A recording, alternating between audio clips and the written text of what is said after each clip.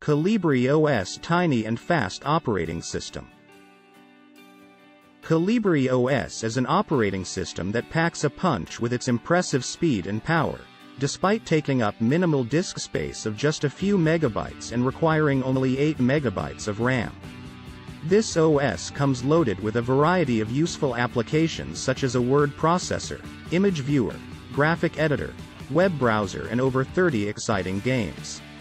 It supports FAT December 16, 32 and has read-only support for NTFS, ISO 9660, and ext2, 3 quarters.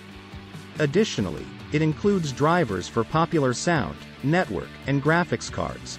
Imagine an OS that boots up to the GUI in seconds from power on, and launches applications instantly upon clicking an icon. No more waiting for hourglass pointers. This lightning-fast speed is achieved due to the fact that the core components of Kolibri OS, including the kernel and drivers, are written entirely in FASM assembly language.